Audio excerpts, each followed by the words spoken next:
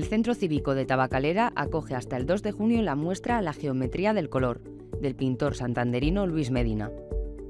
Muchas de las obras expuestas han sido premiadas o finalistas en alguno de los últimos certámenes nacionales de pintura, como el tercer premio en el Yacht Art Prize, finalistas en los premios de Bellas Artes San Jordi Fundación Perelló de Lérida y el segundo Premio Nacional de Pintura Club Rotary Barcelona.